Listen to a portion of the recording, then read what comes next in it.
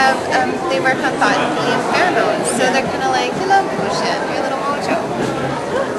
So a little bit on your wrist. It goes on your pulse points. You're gonna rub this one in with your other finger. So rub that in. That one's a really pretty like fresh clean one. It's kind of get out in the world, do your thing. It's neroli, jasmine, lavender. Oh, it's awesome. When I learned what I did about the essential oils, then I couldn't. I would look at the packaging on the moisturizers, and I was like, I can't wear this stuff because Yeah. it's just as bad as the perfumes. And especially if it says fragrance or perfume, that means it's all those synthetics, and Right. that's going onto your skin. So I couldn't find what I wanted in the market, so then I just made my own. And I made it so it went in really nice and has a nice texture. Yeah. See, it's quite so Okay, so this is the body butter. Basically, it just it's a nice gentle moisturizer for arms, legs. Okay, and you'll see like the oh, consistency is nice. thinner, but it still soaks in really nice. So like after you know outside in the water or bath. Well, it smells nice too. So, but it is really nice when you cleanse at night and then you know pat dry. Yeah, and then it's, it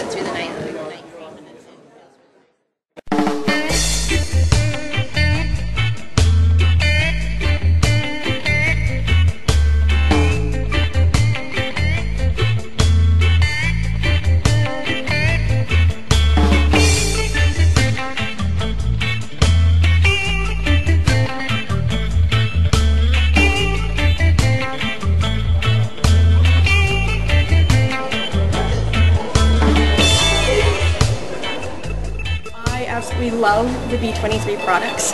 I love that they're natural. I my favorite is the peppermint lip balm. I can't believe the consistency of it. It's so smooth. I don't have to worry about my daughter if she she's just learning. So if she starts to put it on and eats half of it, I don't have to worry about that at all. Um, there's always one in my purse. There's one in my diaper bag, and there's one in my desk. I started to use the Hotty Blonde two years ago. I had uh, burnt my face by putting my face on some fabric that harsh and it was practically bleeding. And within three or four hours, the redness started to fade, and by that evening, my face was almost back to normal. The next day it was normal. I figured the stuff saved my life.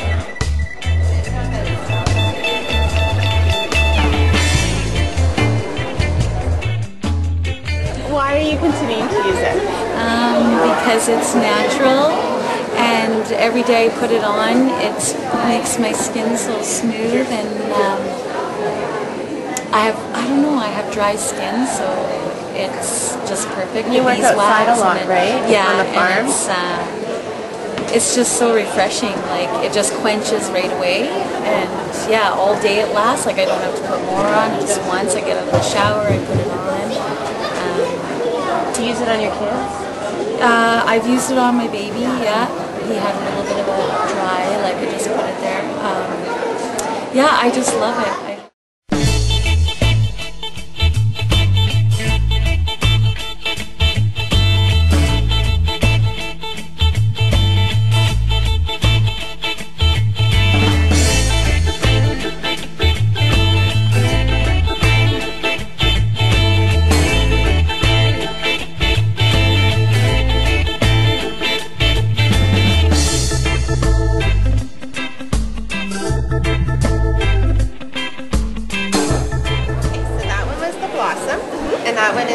Get out in the world, do your thing. Okay. And then this one people love or hate, but it's my bestseller. So it's called Yummy. And scent is really neat. So we're some the word. Top note, bob note, bridge note, heart note. When you heat it on your skin, all those notes are released, and nobody's notes are released like yours. So it's naturally couture. That one too. Yeah.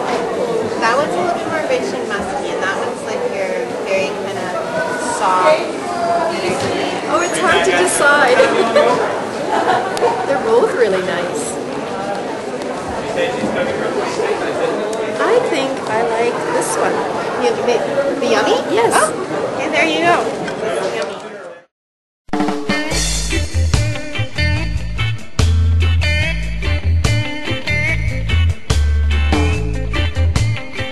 So with a balm, I don't have to use any of the synthetic parabens because there isn't any bacterial agents in it. something you put on your face? Yes, And so basically what I did was I took everything I wanted and put into a formula that sinks right into your skin. It doesn't stay greasy.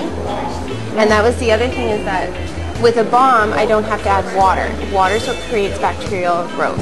If you just stay away from water and pick and choose your elements carefully that have their own shelf life, you don't have to use a synthetic paraben. Synthetic parabens that have been closely related in the media right now to um, extra estrogen in women, which is creating cancer. So I didn't have to use any of that, and I used all simple elements that have their own shelf life and put them together.